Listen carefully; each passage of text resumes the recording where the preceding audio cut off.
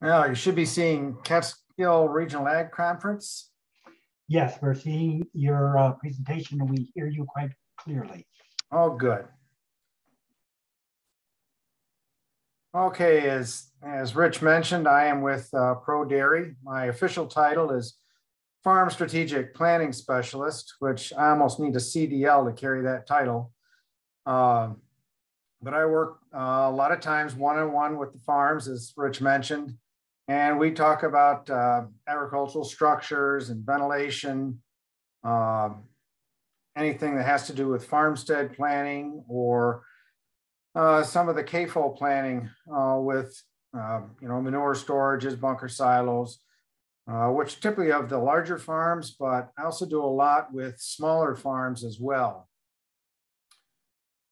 Uh, so today we're going to be looking at if we have an older uh, facility, what can we do with it? So, you know, you've just purchased or maybe placed some old, purchased a place with some old barns, maybe just moved out of your, uh, out of your operation of an older building into newer or up-to-date facilities. So now what? Well, we can raze it you know, has it outlived its useful life? Is it time just to salvage what we can and uh, put it to rest? You know, if so, then some of the uh, options you have, of course, yeah, take it down. But there's also companies out there, and this is a an example of one, Strong Oaks Wood Shop. They take a lot of the lumber from these older barns and turn it into uh, various pieces of uh, furniture and bar stools, bedroom sets, so on and so forth. I have not worked with these guys, and I don't know if they actually buy the barn or what, but even if they just take it down and get it out of there, again, that's worth something in itself. You know, could we remodel it with a little tweaking? Can it be part of another facet of the enterprise or even entirely different enterprise?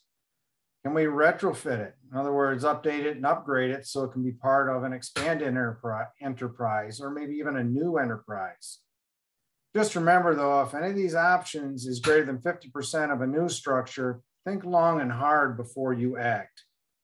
Um, a lot of times we tend to overestimate the value of the old building. We underestimate you know, what it's going to take to actually do the remodel or the retrofit.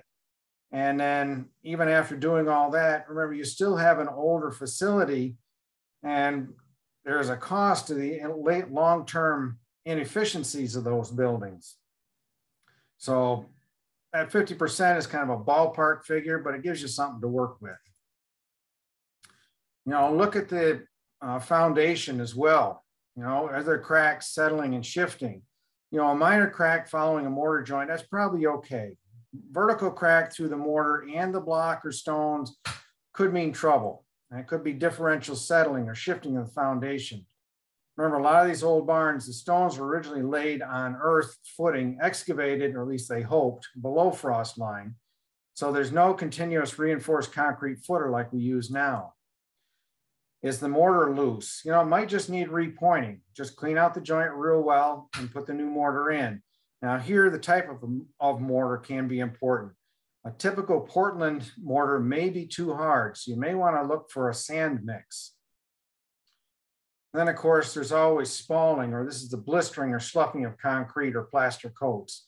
And it's usually an indicator of hydraulic pressure from the outside. Now, quite often we can deal with this, you know, with proper drainage of surface and subsurface water, and that takes care of it. You know, what's on the outside? You know, what's the condition of the roof covering and flashing? Now, a good 35 year architectural shingle really only lasts about 25 years in our climate. And multiple layers actually will require replacing sooner. So there's no advantage to not doing a complete tear off before you put new shingles on. Slate lasts forever as long as the nails stay good. Cedar shakes may just need some waterproofing. And steel and aluminum may last 50 years as long as the fasteners are tight. Just remember, aluminum likes to expand and contract a lot, and therefore the holes around the fasteners tend to become larger. So you may want to check those. Now, check the flashing in the valleys along shed roofs, cupolas, and chimneys. and evaluate the roof from the inside as well. You know, look for water stains and mold. You know, Stachybotrys or black mold is something that can be really nasty and exposure could lead to mycotoxicosis, which is definitely something that's very nasty for yourself or for the animals. Look for rotted sheathing and rusted metal plates because that could mean the roof is already structurally compromised. how about the walls? Are they straight? Check at the eave level. See if you can see a curve in the eaves. You know, a sagging roof line may be an indicator of bigger problems. You know, if the walls have sagged and pulled out, you know, the floor joists and rafters may only be sitting on about a fingernail width bearing surface. So if the foundation's okay, you may just need to uh, clean out the chaff, the dirt, the animal dander, etc., and pull the building back together with heavy cable or turnbuckles. And you may need a portable air compressor and a shop vac in order to do that job well. And I'd suggest quite often maybe two cables, one going laterally and another going diagonally so you can get things plumb and square again. And how about the gutter interior? We're looking at gutters and drains. You know, where do they need to drain to? You know, will they need to be filled in? You know, will the EPA or DEC have a fit if you don't? You know, are things draining to the road ditch? You don't want things to head there. And how about the floors? You know, will they need to be resurfaced or replaced? You know, will the ceiling need to be airtight for whatever you're doing? And how about the free span? Any in, any of the interior supporting structures need to be replaced or removed. And is it big enough to accommodate uh, the equipment that you're going to be using in there? And is there any reason for grade A requirements? You know, will you need to meet those and can be done without a monumental effort? How about the location it's in? You know, if it's topography. If it's in a hole or near a water course, water body, you may want to think twice about it. Quite often, these older buildings were built close to the water, again, as a source of water, so you didn't have to be trucking it too far. How about the access to and from other buildings and from the farmyard? Pickup and delivery, you know, anything that's brought in or, or unloaded. How about products that are loaded and hauled away? You know, can you or do you need to get six wheelers, 10 wheelers, or even semis in and out? Uh, how about gooseneck trailers? you know, and can you expand this structure? You know, is it in the way of expanding other facilities or is farm lanes sitting so close you can't do anything? And how about is it environmentally friendly? You know, when you get through remediating some of these things, it might have been more cost effective to have built elsewhere. And how about the building size? You know, is it big enough for its intended purposes? If not, can it be expanded? Can you go up? Can you go out? Can you go longer? You know, is there room to install any equipment that you need? Any cages or fences, gates, whatever? And are there adequate clearances to the walls, ceilings, support columns? You know, a lot of times these older buildings, they just don't have enough headroom in order to get new equipment in there. And how about doorways? Are they large enough?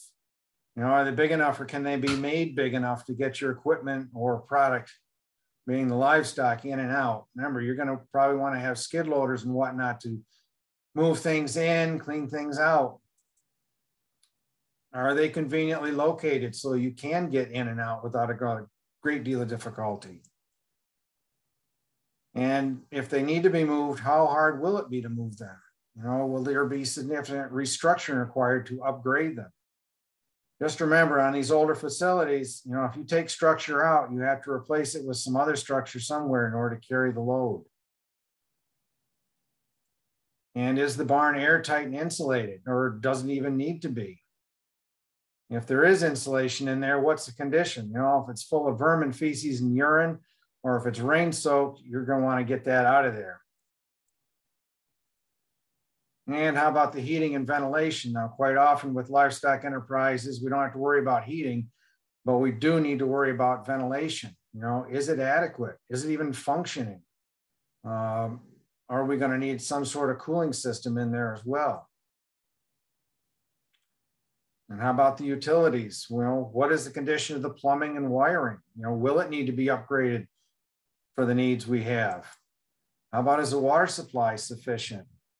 You know, you want to shoot for a minimum five gallons per minute, but if you have rust and hard water in the galvanized pipes, like this example here, how much are you getting through there? And to replace it, of course, you have you can choose between galvanized, copper, HDPE, PVC, and PEX. Um, each of those has pros and cons and is better in some applications than others. Uh, but just remember, if it's going to be anywhere near an outside wall or be outside, you're going to need to insulate or bury these water lines. How about the natural gas or propane supply lines? Are they sound and up to code? Last thing you need is a gas leak. And how about the electrical entrance? Will it handle peak draws? You know, if you have several fans or some other thing, heavy load coming in, uh, is it going to be able to handle it without heating or overheating? You know, is it the old knob and tube? You know, and is that panel properly sized and properly grounded? And are there enough electrical ground rods outside? Can efficient feeding, watering, manure handling systems be installed if necessary? And again, there's nothing to be gained trading one labor intensive facility for another. So labor efficiency is a factor in these things. And how about fire safety? You want outlets. You know, clean the cobwebs away from them. Check the phase on the outlets. Each one should be proper hot, proper neutral, proper ground. Number of times I've seen this where the neutral and the hot lead have been switched. Look at also the fans, you know, are they clean and operational? How about light fixtures? Um, you kind of want these explosion proof fixtures in there. Remember, extension cords are temporary, you know, but still they need to be fully grounded and of a proper gauge. I have seen where heaters have been plugged in and the cord was too light. The cord eventually fries and so does the barn. And you're gonna wanna clean out all the cobwebs and the chaff that's in here. These are just what we call ladder fuel. In other words, a small spark somewhere near the ground can just climb right up these things or move right along extremely fast. Um, I also have a handout that we provided here, Protect Your Investment. It talks a little bit more about these things and what you can do. And how about the biosecurity? What has been the typical pathogen load in this facility? Have you been seeing a lot of E. coli or worse yet, Salmonella Dublin? Can it be adequately cleaned and sanitized to reduce or eliminate the contamination? You know, you may have to power wash through 100 years of whitewash in order to get back to just bare wood.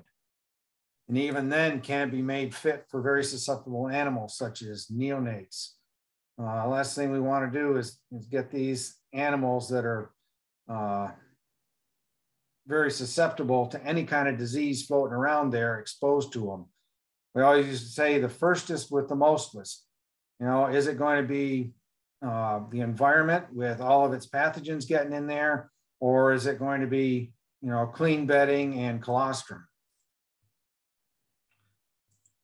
So do sweat the details, you know, draw and redraw, you know, plans, the profiles, the cross sections, and the elevations.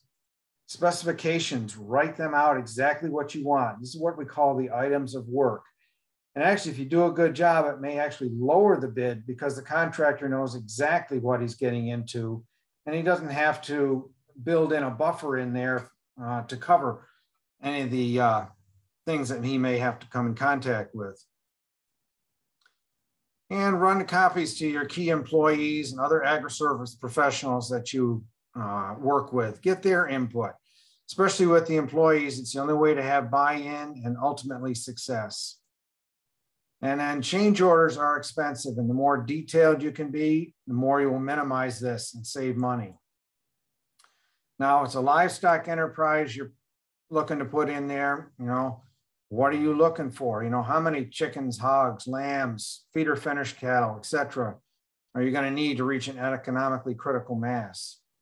And then how much is required, you know, per animal or for this production enterprise? Is the building big enough? just whatever you do, remember to build for the animal because they're the ones that are going to be living in there. You're just going to be coming and going. You also can take on, put on, or take off a sweatshirt or jacket or whatever. They can't. They have what they have. And any, any ancillary structures, you know, feed, waste, storage. What are the things you're you going to need or have to deal with in those situations? We talked a little bit about ventilation systems and the different options we have. Of course, are natural, where it's just the, the natural breeze is blowing through and relying, we are relying on that. We can assist it perhaps with some circulation fans or maybe some powered chimneys. And then there's mechanical, which can either be a positive pressure we're pushing air into a building, negative pressure where we're trying to draw air out of a building, or neutral pressure where we're actually pushing and pulling uh, at the same time.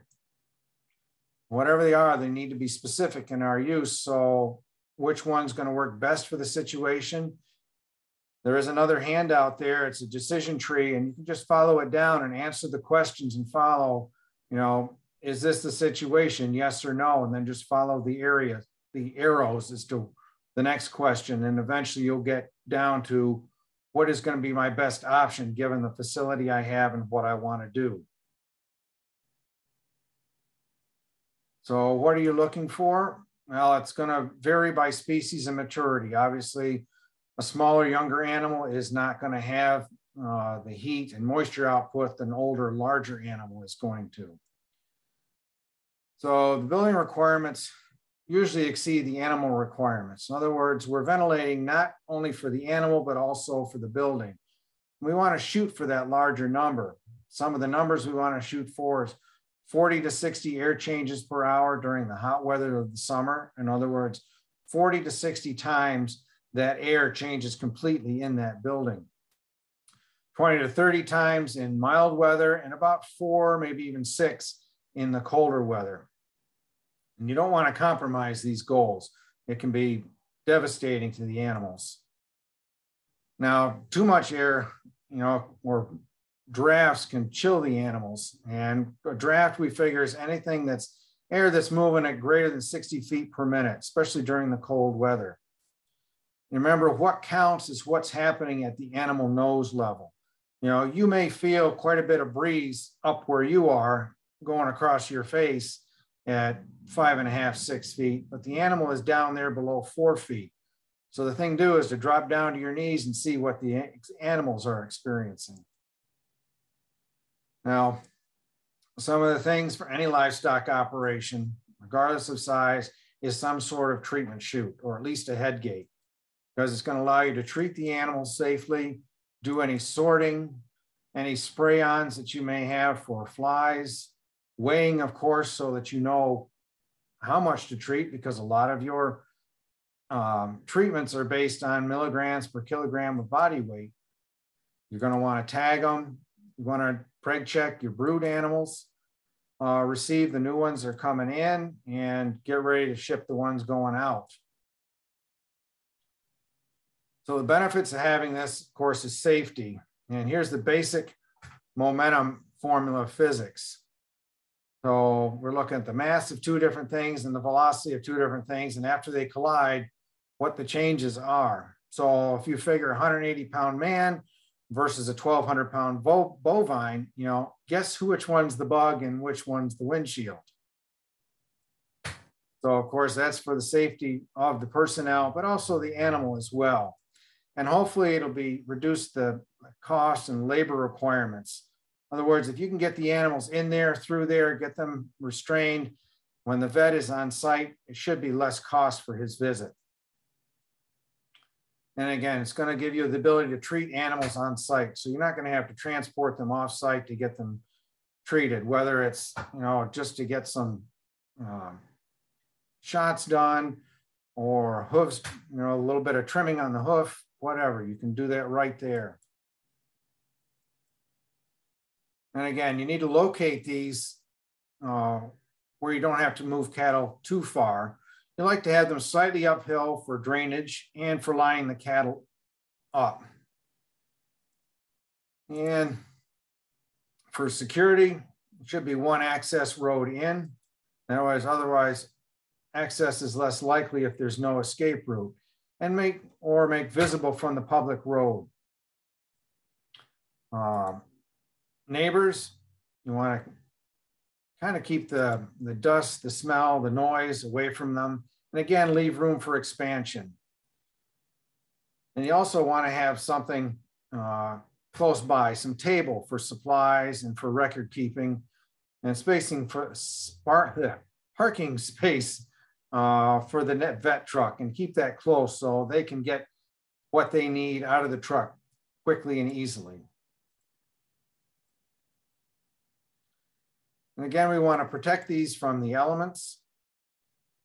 Uh, the people, the cattle, the equipment always works better in clean, comfortable conditions, and the equipment always lasts longer. We want to eliminate shadows because they tend to freak out cattle and keep the lighting as uniform as possible.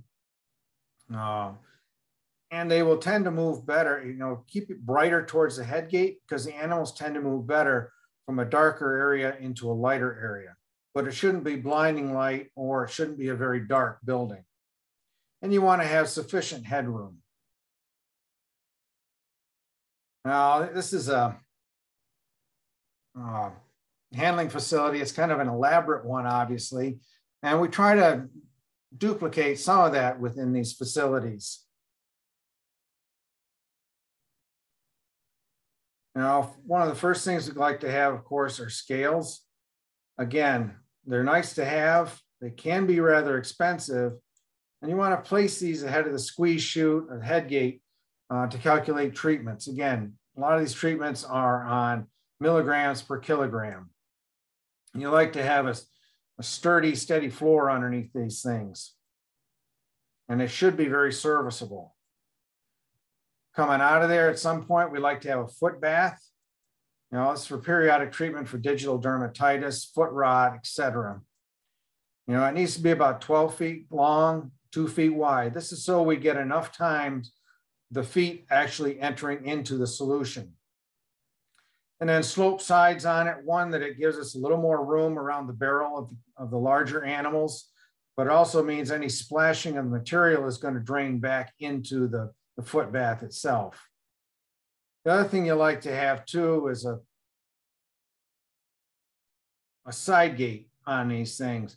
That way, if the animal happens to go down into these foot baths, it's very easy to open up the gate and let them get out. And again, located for ease of clean out, it should have a good way, an easy way to drain out, either to a manure storage or some sort of holding tank so that it can be spread on the fields. And quite often you're using copper sulfate, zinc sulfate, or formaldehyde in these units. So I just want to finish up with some uh, real life examples. Here's an overhead of one in Allegany County. Again, it's in a, a larger gambrel roofed barn. Uh, there's an addition here, single story addition, and several holding yards out here. Uh, it's big enough that he can actually back in anything as big as a uh, pot belly. You can unload them in here. These fences are sturdy. Uh, so these animals are probably going to be a little freaked out after their trip, but they can get out in here, they can calm down, and then they can be brought in to be processed. Or they can just be brought through and held in these holding pens until later. Inside, of course, we have um, our squeeze chute, a working chute, the crowding pen, there's a catwalk on the crowding pen so they can access the animals. And there's a table in there in order to keep all the, the vet supplies, the record books, whatever else they need. And then several holding pens in there that allows them to sort animals going in or com coming in or going out. So just as, what do these look like? This is that um, main walkway through there with the pens going off down into the side. Uh, here is that large single story area where they can bring the animals in, just let them settle down a little bit before being funneled into the crowding pen, the working chute, and then up through to the squeeze chute. Squeeze chute, of course, has head gates on it. Um, and it is bolted to the floor. So even a big animal coming through, that's not gonna, it may rock a little bit, but it's not going anywhere. Again, the table to keep supplies handy. And then the gates are all set up to allow ant to direct animals either in or out of these pens. And just the pens have a, uh, basically they have uh, either dirt or uh, heavy sawdust in there. They have filled in all the gutters with concrete. So there is a, a uniform floor underneath these. They can be easily cleaned out, but also give a lot of traction and comfort to the animals. This is a smaller one we completed on a farm uh, two years ago. Uh, these are just the designs for it. Fortunately, because of COVID, we haven't been able to get back there and take some as-built pictures. Uh, but it is a three-sided shed. Um, we have in one corner uh, a crowding tub and a uh, working chute. We've got a, a, blocking here so that they can do the palpation and headlock. Uh, they also have it that if they wanted to, they could actually tilt this out a little bit more. That way they would have access to the squeeze chute on both sides. Again, just a really simple facility and uh, the animals are easily handled within it. Another one is a retrofit, uh, basically taking an old machine shed, uh, opened it up on one side, the south side, so that we have a concrete apron with a packed clay mound out there. Some people might call this a Wisconsin mound. And then over on the one side, we have the crowding pen going through the working chute, squeeze chute, and then either ship out, load to a truck, or return them back to the barn. Real simple. Uh, another one very much along the same lines, but we've got an H bunk in there and a bedded pack so we can feed both sides of the H bunk. And what we have also in here are some ad hoc box stalls. These are just some 12 foot gates hung on the wall. When not needed, the gates swing back flat against the wall. So you have the entire area available for the animals. But when they need them for treatment or calving or something like that, they can be swung out and they have a very private area for the animals. You don't have, uh, you know, 40 other mothers with their face right there as you're trying to pull a calf. Again, with the crowding tub, squeeze chute, and then either return or shipping out, depending on what they're doing. Uh, this is another one here in Wyoming County, um, small beef operation. Took an old dairy barn and reworked it so that it can have the, the chute and whatnot in there. Um, this is the heads where the animals come in and go down the chute. These are adjustable, so they can adjust it for everything from small calves up to they've got a 1500 pound bull they have to deal with that can barely fit through there, but he does.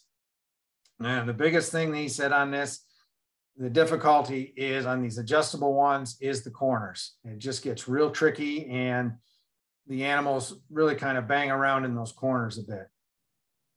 They do have a scale right before the squeeze chute. And he said that's one of the best investments they've made because now they know how to treat the animals and how much. And they have actually saved quite a bit of expense just because of treating the animals with the correct amount instead of over slightly overdosing just to make sure. And then along with the squeeze chute, they also got a palpation box so now they can run the animals in, do all their preg checks and run them back out again. Works pretty slick. The animals come out and they can either return back to the barn or this gate swings all the way back. And there's another gate here that slides actually through the wall. This door slides open and they can back the truck right up to the wall, slide that gate out so it meets the truck. And the animals can come right from the chute right on outside. Some of the other novel things they've done, this is an old dairy barn, like we said, and it was a head-to-head uh, stanchion barn. What they did is they actually filled in uh, quite a bit of the old uh, manger and put these built these brackets, bolted them in. This used to be stall here, and this is where they feed all the round bales. They've come up with a, a round bale, automatic round bale feeder. You can see it's on a slope. As the animals eat it, the round bale rolls forward. Really easy, uh, very little waste. So I realized that was pretty quick. We went through there a lot faster than I did in practice, but uh, just were there any questions? Um, yes, uh, thanks, Tim, for a, a, lot of great information.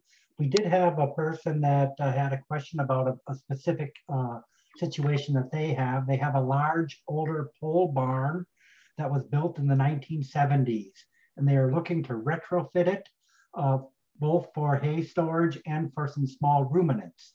It currently has a wet dirt floor and the person is wondering if you would recommend that we raise that floor with gravel or raise the floor and pour concrete or, or what to do with that. Uh, boy, the, the wet floor does concern me. Um, and I think probably one of the things we need to deal with first is what is the drainage along the outside? Uh, quite often you have a large roof which obviously doesn't hold the moisture. It all drains off and you it drips down uh, right below the eaves. Um, they may first need to install, um, you can install gutters, which tend to be a real maintenance headache, or you can install a French drain, which is basically digging out a, a channel, uh, oh, a foot and a half wide to a foot and a half to two feet deep uh, putting a perforated drain tile in the bottom of it and then backfilling it back to the surface with either some crushed stone or round number two stone. Uh, and then take that tile and outlet it someplace safe. Now, sight unseen, I can't tell you exactly where that is, but that's what we'll need to do first is to get rid of the exterior water. That's what's coming in, obviously. There's no rain inside, so the water must be coming in from outside. Uh, the other thing we can do is, like you mentioned, yes, bring in more gravel and raise the floor. Um, where you're going to be storing hay, if this is a gravel floor, you'll probably be okay. Where you have animals, you may want to, that's where you may want to put the concrete just because of the heavy traffic that's going to be on there, more so than what would be under the, uh, the hay storage. Okay, we had a comment that uh, the example that you were providing, the uh, ag educator from that area believes that they had received a John May safety fund to help with some of the costs. Uh, so that is a, a, great resource that's out there. And uh, that was put into uh, the link to that uh, John May safety fund was put into the chat. so please take a look at that. So I have a question for you, uh, uh, Tim. Uh, you know, I mentioned at the very beginning that you've come to Delaware County on multiple occasions to help uh, deal with uh, challenging situations. Do you have a statewide responsibility? And if a individual farmer wanted to, to get the this resource or help from uh, Cornell Cooperative Extension, how would they go about doing that? Would they contact their local uh, ag educator first and they would then contact you, Tim? That's the way it, it works best is to have them contact the local educator because I like to keep the, the local and regional educators in the loop on these things uh, because quite often they are my eyes and ears. Obviously, if I have statewide responsibilities, I can't be everywhere all the time. Um, but also, what that does too is if I have to travel a distance, it's helpful to have two or three stops uh, to make while I'm there, just in, to make for an efficient use of time, and they can kind of coordinate those.